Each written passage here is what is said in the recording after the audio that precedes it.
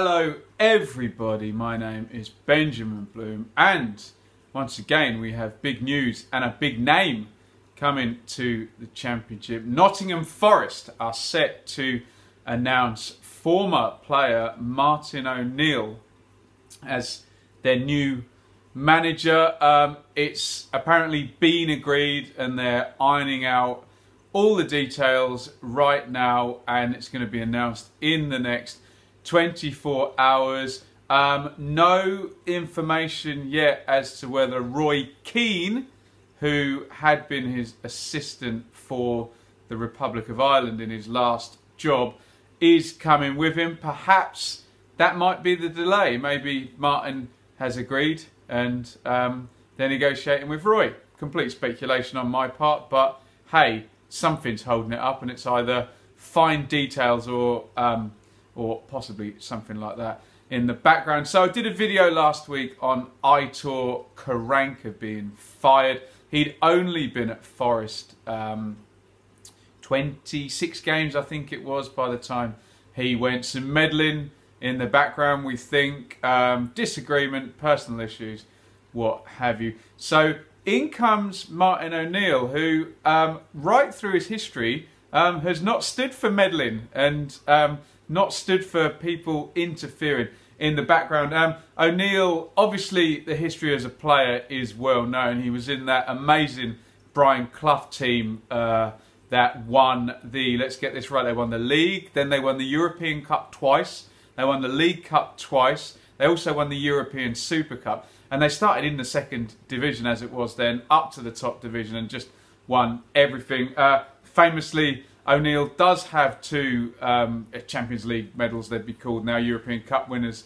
medals, but didn't play in the first final. I think um, a big a big thing with me. I'd, I'd highly recommend the um, the documentary. I, I, Believe in Miracles. That's what it's called. Um, I'd highly recommend any football fan who hasn't seen that to watch that amazing stuff. So O'Neill is a Forest legend. They have been this way before. I remember um, Stuart Pearce was greeted like a messiah.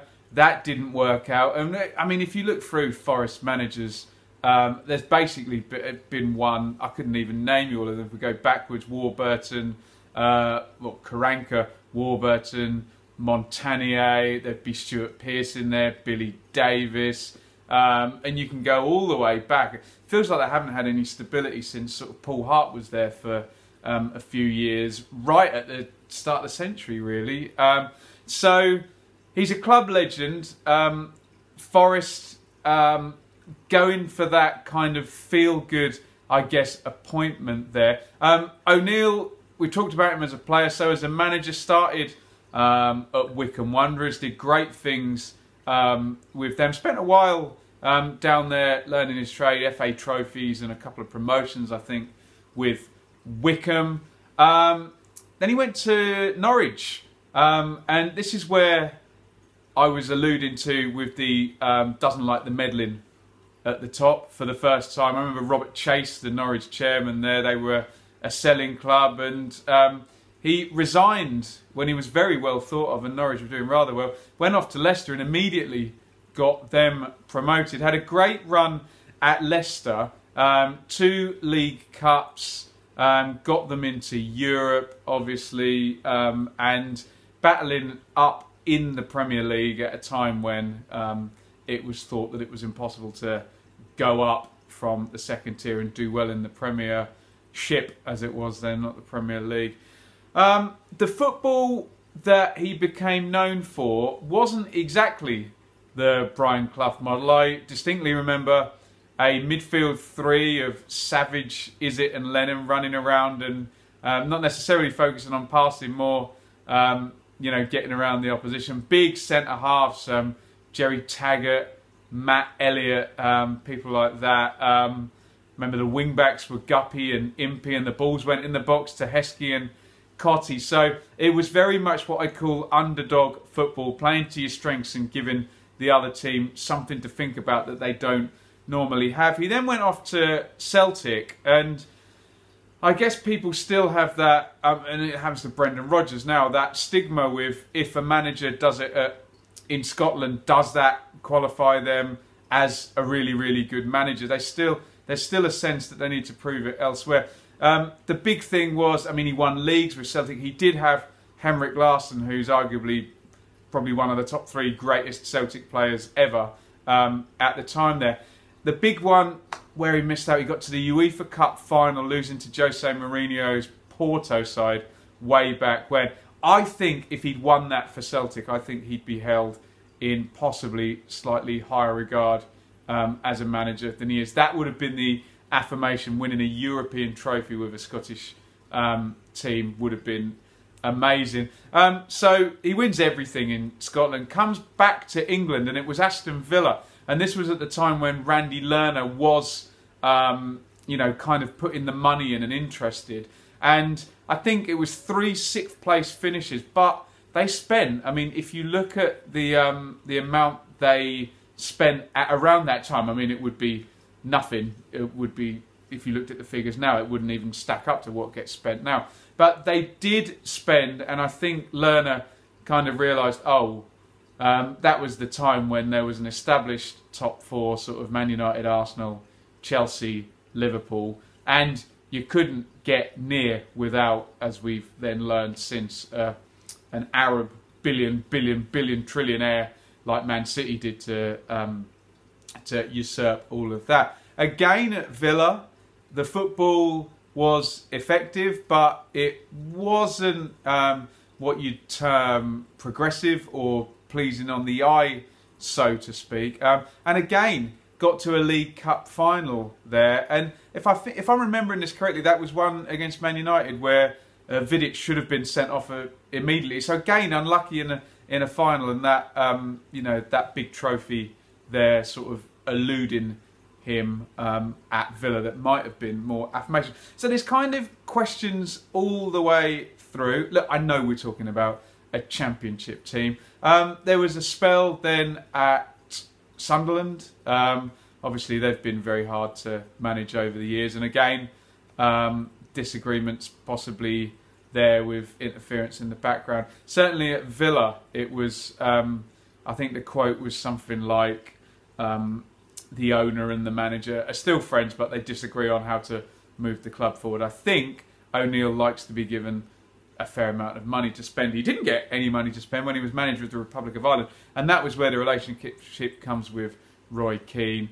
Um, and that has recently um, finished, um, maybe a last three months or so. I don't know exactly when he finished up there. And obviously, the the link with Keane, Keane um, really made his name at Forest before you know becoming such a great captain for Man United. Obviously, as an Ipswich fan, I've got rather worst memories of um, of Roy Keane um, in a management role because he was a hopeless manager for Ipswich, having done uh, pretty well at Sunderland beforehand. So I'm not hundred percent sure about um, Martin O'Neill and how this is going to pan out. On the one hand, it seems like it's a bit of a feel-good um, appointment, bringing a ex-player from the glory years back.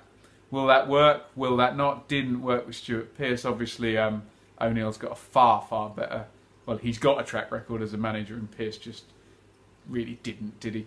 Um, would Roy Keane come with him? That would be double, um, you know, bringing back big names and great players from your past. Um, obviously, O'Neill's prime as a manager seems to be that Celtic and early Villa period, which is now over 10 years ago, over a decade ago, and um, the work at Sunderland and Republic of Ireland not quite held in quite as high regard. What I will say is he hasn't stepped down to championship level, um, wouldn't have been at that kind of second tier level since he was at Leicester, which God would have been 1996. So a good 23 years ago. So it just remains to be seen whether he's um, still got that um, about him. He used to be a very charismatic manager and a real player motivator and a, you know a little bit eccentric. Um, going to be really interested to see what style of football it'll be because I think there were some complaints from the Forest owners about the style of football under Karanka. Karanka could be quite um, pragmatic and quite defensive. I don't really see there would be. I mean, I'm there to be proven wrong, and I think with O'Neill, I think the sense is when he has better players, um, you know, you will see some good football. But um, I've always had the sense it was battling first and character first, and rather than any kind of philosophy about out footballing the other team. I don't think that was ever really the way. But at this level in the championship, can he come in and be a bigger personality and a bigger name? Does that does that count for anything? You can see I'm really, really not sure how this is all going to pan out. So what I would like is some feedback from the people on this uh, channel. Forest fan, Wycombe fan, Norwich fan, Celtic fan, Leicester fan, Ireland fan, Sunderland fan. Any um, feedback on O'Neill would be good. Um, any feedback from um, any fan of any team. How do you think this is going to go? Is O'Neill a big enough character with a big enough name? Can he bring Roy Keane with him? Um, or have his best days gone by? And is this a bit of a romantic appointment by Forest? How do you see it? playing out. Could go one of two ways. I don't think there's going to be much of a grey area. Um, Forest have this reputation for having loads of managers and firing them quickly. O'Neill has a reputation for a combustible relationship with owners. Really does look like a fascinating one, and I'm really interested to know in the comments how on earth you think this is going to play out. Um, is it a thumbs up or a thumbs down for this appointment? And what do you think could be the strengths and could be the weaknesses of it. Um, we're going to watch with interest. Like I say, I'm recording this before the final announcements made, so I don't know whether Mr. Keane will be with him or not, or whether you think that match. Also, uh, John Robertson, another Forest European Cup winner, could uh, come with him. He's been with him at a lot of jobs, particularly Leicester and Celtic. I know he was there. So again, is that something that is plausible. Um, let me know what you think in the comments. Um, give the video a thumbs up if you enjoyed it. As you can see, I've got a fair bit of information about his past, but not not really clued in as to um, how I think. I don't have a good read on this. We don't have a good frame of reference for O'Neill in the championship. So um, if you enjoyed the video, give it a thumbs up. Really interested in what people think in the comments. Um, if you're a championship fan, please hit that subscribe button. Loads of good championship content coming up. Going to be at Norwich, Birmingham, and probably Blackburn, Ipswich at the weekend. And we'll be doing the preview on Thursday and a review on Sunday. So loads of stuff. Those are YouTube live streams as well, the preview and the review, where you can actually get involved and interact and uh, give me your comments in real time and I can react to them, which is always good fun. Anyway, the bones of this video is uh, O'Neill to Forest, so really interested in that. You can also find me on Twitter at Benjamin Bloom. Um, really interested in interacting with Championship fans. Um, I know a lot about Ipswich, but I can't be everywhere, so I really do rely on the feedback of other people. Um, thank you very much for watching. As I say, get involved with your opinions. This is probably going to be quite a divisive one, so doesn't matter if you disagree with me or anyone else in the comments. Really just interested in getting some feedback. Thank you very much for watching, and more when we get it.